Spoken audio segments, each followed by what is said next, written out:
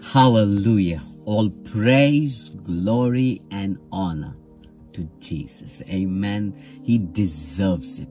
When we open up our Bibles to Hebrews chapter 13, verse 8, it says that Jesus Christ is the same yesterday, today, and forever. What a great assurance, what a great hope we have, right? For those of us who are going through crisis, for those of us who are facing situations that seem impossible for you to face.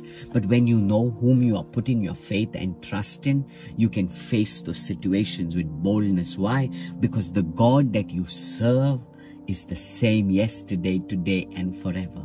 Now, when we meditate on Jesus, on the amazing things that He can do, we begin to see when there's less of provision, He multiplies things. That's what He will do in your life because He is the unchanging God. In Malachi chapter 3, verse 6, it says, I, the Lord, do not change. That means what He did yesterday, He will do it today. He multiplied that fish and loaves Come on, He can do it for you. He will meet you at your point of need. When we look upon what Jesus did in the in the New Testament, we see Him healing the sick.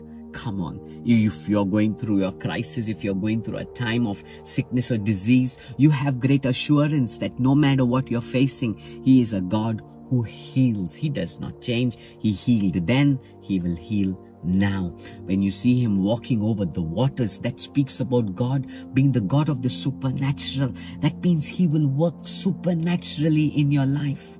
Come on.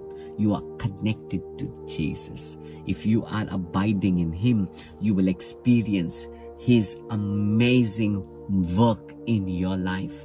What he did in the past, he will do it today. And that's why we can face our tomorrow. We can face every storm and calamity of life with great assurance, knowing that we serve a God who's unchanging. And you look at the world around, everything's changing, right? Look at us, what we were 10 years, 20 years back, and what we are today. We've changed physically. There are things around us that are changing. When you look at the technology today, it has changed. When you look at people's promises, they make one word today, and after a few days, it's changed again. But we serve a God who's unchanging.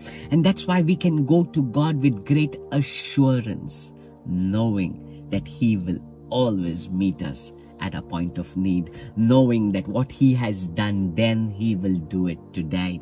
Come on, our God is the unchanging God. He's worked miracles in the Old Testament. He will do it even today. He's worked a deliverance for His people in the Old Testament.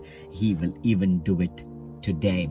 No matter what your circumstance or situation is, if you're connected to Him, you can have one assurance is that He will never disappoint you. He will surely work in your situation. Remember, He is the Lord that does not change. God bless you.